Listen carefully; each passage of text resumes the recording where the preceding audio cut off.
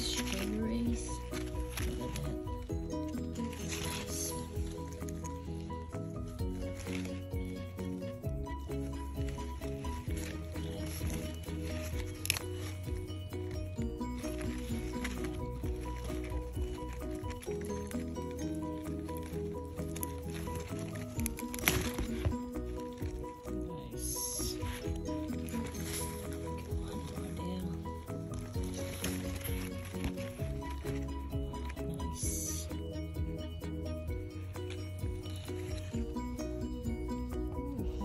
Today. So we got some strawberry, beetroot, broccoli, cauliflower and cabbage.